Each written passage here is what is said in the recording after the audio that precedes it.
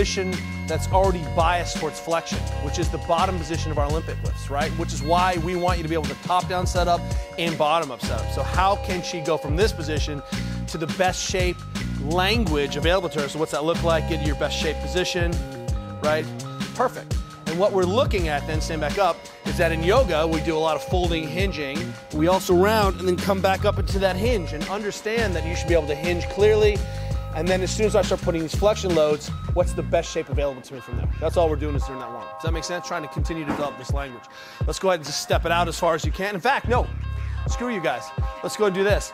Let's take your shoes off and grab yourself a medicine ball. I want to get some ankles prepped. What we're looking for is can I maintain this ankle in the middle of the foot, right? We're trying to prime that and put awareness in between ball foot and heel. And then from this position now, instead of just managing your body, you gotta manage this load.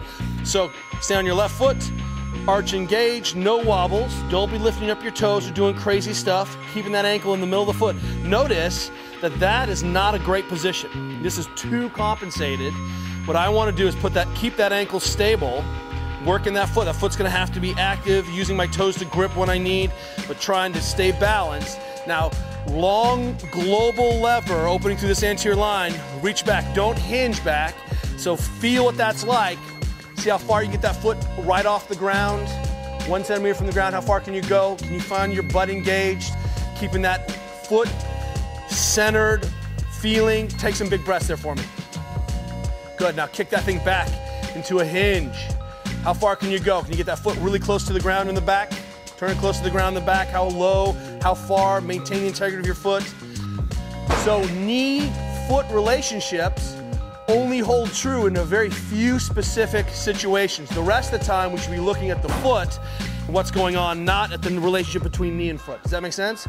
Still holding that thing, reach behind you in the bowler, keep this foot in the plane and box of the other foot. How far can you reach over and maintain that shape?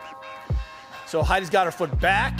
I want that foot across. Twist, twist that body. Figure out how to twist that body. Get to the limits of your position and figure out how to take three breaths there. The key to these ankles is making them work at these end ranges and having access to those positions. Come back up, shake it out. Whew, other side. Keeping that heel engaged, figuring out how to breathe, get to the limits of your shape, maintain the integrity of your foot. Three breaths. Big, powerful breaths. Own that position and shape. Wobbles are okay. Don't collapse that arch. You've lost your arch. Good, good, good. Where do we integrate balance drills? Into warm ups. There's no time otherwise, right? We've got to get these ankles on, belly tight, prepped, good. Reach out to the side. Gorgeous. What's that look like out to the side? How far can you go? I don't hear any breathing. You don't breathe in a position, you cannot own that shape. Arms straight, belly tight. All right, tempo. Here's the goal. Put your arches in the best position available to you, your foot in the best shape available to you. Rib cage, in and down and organized. Where you're gonna make the compromise, if you need to, you're gonna bend the elbow. What we wanna do is not put that compromise right into the chest and the trunk. We wanna put it into the elbow and shoulder. So instead of just automatically flaring out, I'm gonna keep the elbows in tight and go ahead and give myself a little bit more leverage. So that will be the limits of my position. Obviously, I want to be here with thumbs back, but if I can't, I'm gonna bend the elbow a little bit. But what I'm not gonna do is banana back okay? So arms up, limits to your best you can. Big breaths in this position. Already, you're looking breathing through the mouth and shallow. Show me you can breathe. In fact, let's go nose only here. What I'm looking for is that Sarah tries to maintain the integrity of this relationship between the bottom of her sternum, her xiphoid process, and her pubic bone, and that that relationship, she can brace into that position, but that it doesn't hinge and go to end range, right? So one more time. Holding, she's stiffening into that position. I can tell because her belly is drawn in and in this bottom shape. How heavy is this ball you're holding? 100 pounds. Woo! Arches up. So look, remember, I have a range where, hey, this is where I'm getting the most bang for my butt buck in sport. In pedaling and jumping and landing and running. I still can open the foot up and still have a ton of power. As soon as I start getting past 12, 15 degrees, man, it's like people are turning off my hip, hip stability. There's just no way I can manage that. It just becomes weak. So understand that I can turn the feet out a little bit. That may open me up, but I start to lose the efficiency of what I'm trying to do, which is what train athletes to jump and land with straight feet straight forward. We are not Olympic lifters. We are training for sport. All right, here's what we're gonna do. From behind the neck, work on first warm-up sets, just some easy pressing from behind the neck. Then let's add just a few push-ups, push presses from behind the neck, a couple sets of 10, whatever, just a bar, one set of 10, sets of seven. Seven is the forgotten number in weightlifting. Eight, what is an eight? Then let's go ahead and push that in without moving the feet. Just dipping and feeling like we own that position and we're not hustling out.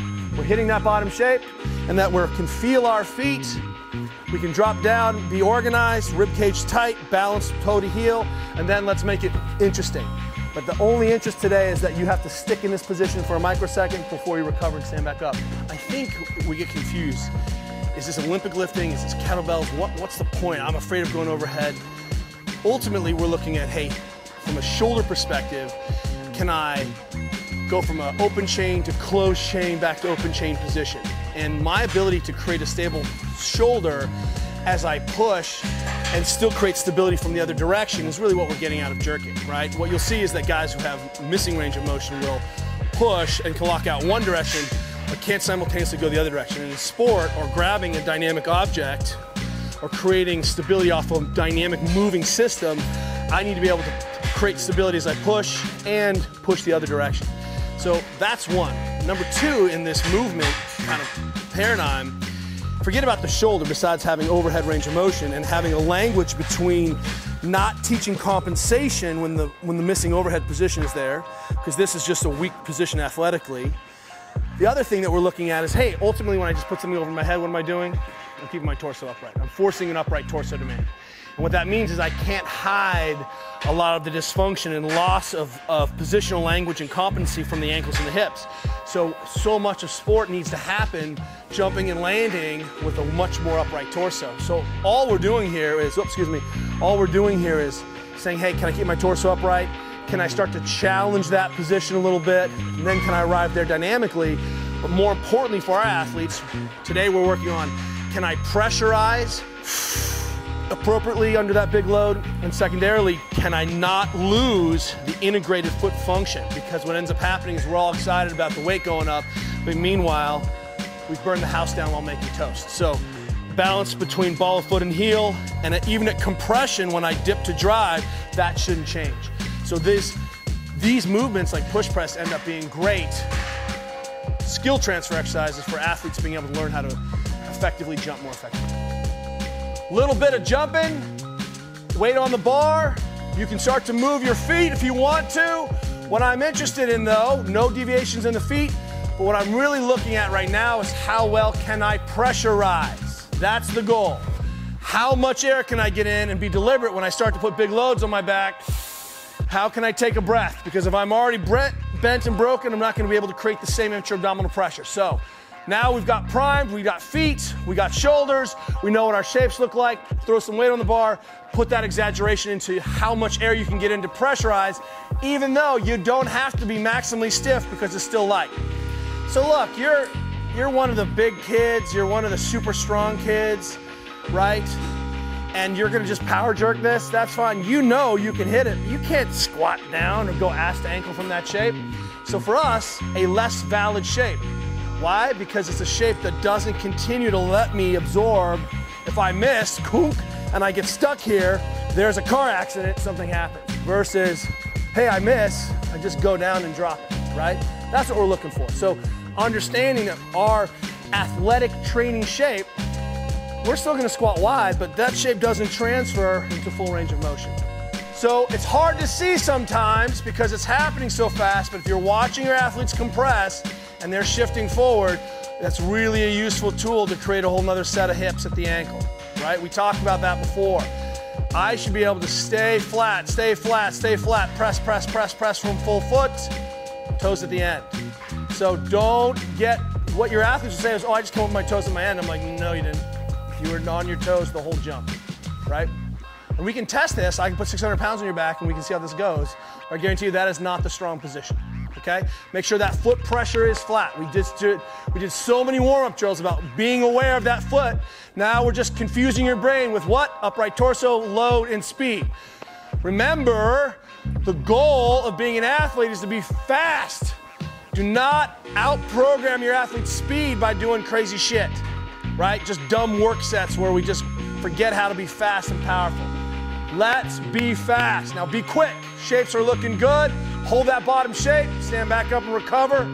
Fantastic. Leave the bars on and grab ourselves a bike and a uh, couple of kettlebells. 30 second piece. Then athlete B, after the hard 30 second piece, is going to jerk that with the, with the kettlebell, light load, then overhead squat to the depth that's available to you. So what am I challenging here? We're at a sub-maximal load, but suddenly rotational demands are high, even though the kettlebell's giving me a little extra love.